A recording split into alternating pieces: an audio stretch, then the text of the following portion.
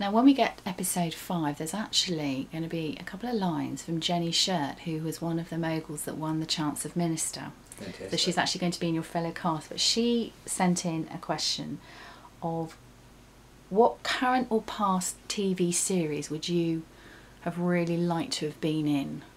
Sherlock. Sherlock? All right, brilliant. Well, Yeah. yeah. who's to say you won't ever be in Sherlock yeah, then? I just think, I, I, I think the relationship between Benedict and Martin is so good. I, I mean, I, I, I have to say that I was not sure how I would feel about it because I think that there's been some great series of Sherlock done here in the past, and given that it was a modern adaptation, I wasn't sure how it would go. But it's not just me; it's I mean, it's taken New Zealand by storm. It's a fantastic series.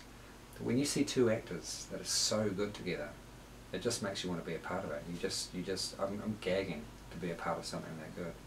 As I say, if we made TV like that in New Zealand, that's what I'd do. I w- I wouldn't step outside the door to do anything else. And I just think that the storylines are really, really clever, but the fact that they give those two actors so much room to actually play is fantastic. It's not just them, the rest of the cast is stellar as well, but those two really, they make it.